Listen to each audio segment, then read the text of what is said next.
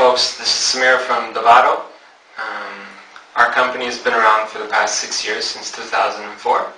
Uh, we specialize in the development of routers supporting mobile broadband.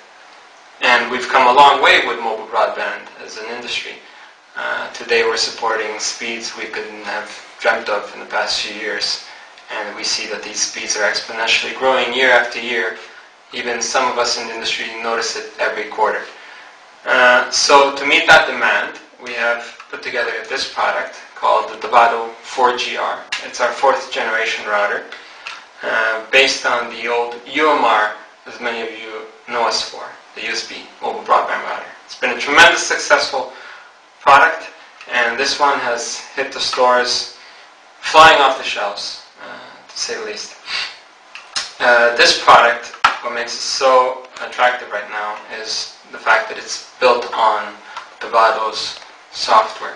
And our software is capable of so many things because we're constantly updating it.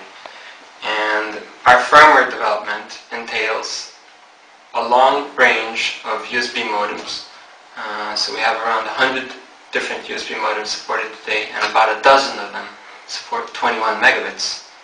Not only that, but SMS, um, notifications, remote control, etc., etc.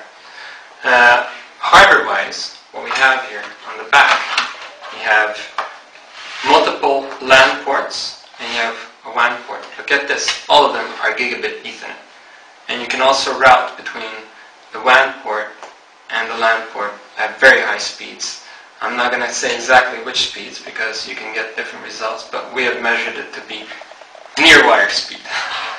And also to serve your wireless interests, we have um, 300 megabit uh, Wi-Fi 802.11n and uh, you get pretty good coverage and you get very high speed with that.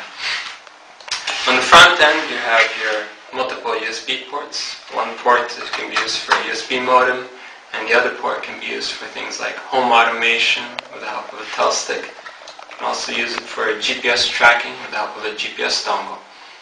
And then in the future we'll have support for other things uh, which will be which will make this product even more attractive for you who already have it, and for those of you who are going to hop aboard the 4GR bandwagon.